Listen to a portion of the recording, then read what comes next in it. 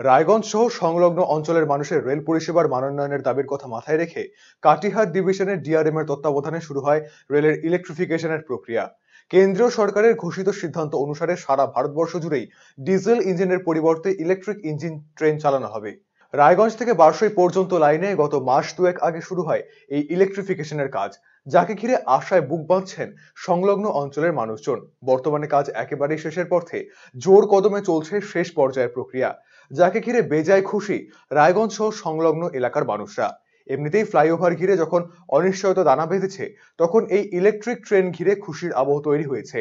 শনিবার এই ইলেকট্রিফিকেশনের কাজ খতিয়ে দেখতে এলেন রেলের পদস্থ কর্তারা বারসই থেকে রাধিকাপুর পর্যন্ত রেলপথ জুড়ে পরিদর্শন করেন ডিআরএম এস কে চৌধুরী ও principal chief electrical engineer Rabilas Kumar কাজের অগ্রগতি সরেজমিনে খতিয়ে দেখেন তারা খুব দ্রুত এই প্রকল্প চালু হবে বলে জানিয়েছেন ডিআরএম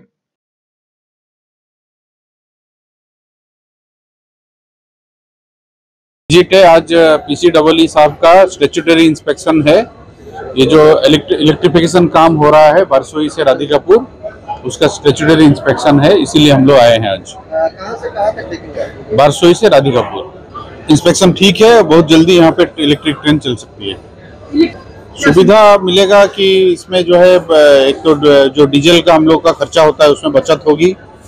और, जो यहाँ पे इलेक्ट्रिक और डीजल जो इंजन बदलने में जो टाइम है, वो बचत हो सकता है দক্ষিণ দিনাজপুরের গঙ্গারামপুর রেল স্টেশনের পরিকাঠামো উন্নয়নে জোর দেওয়া হবে। নির্মাণ হবে দ্বিতীয় প্ল্যাটফর্মও। সেই সঙ্গে রেল স্টেশন সংলগ্ন বেহাল রাস্তা দ্রুত সংস্কারের আশ্বাস দিয়েছেন রেল কর্তারা শনিবার দুপুরে বিশেষ ট্রেনে গঙ্গারামপুর রেল স্টেশনে পরিদর্শনে আসেন কাটিহা ডিভিশনের ডিআরএম শুভেন্দু কুমার চৌধুরী, উত্তর পূর্ব সীমান্ত রেলের principal chief electrical engineer Rabilesh Kumar সহ অন্যান্য রেল কর্তারা এদিন গোটা স্টেশন ঘুরে দেখেন তারা।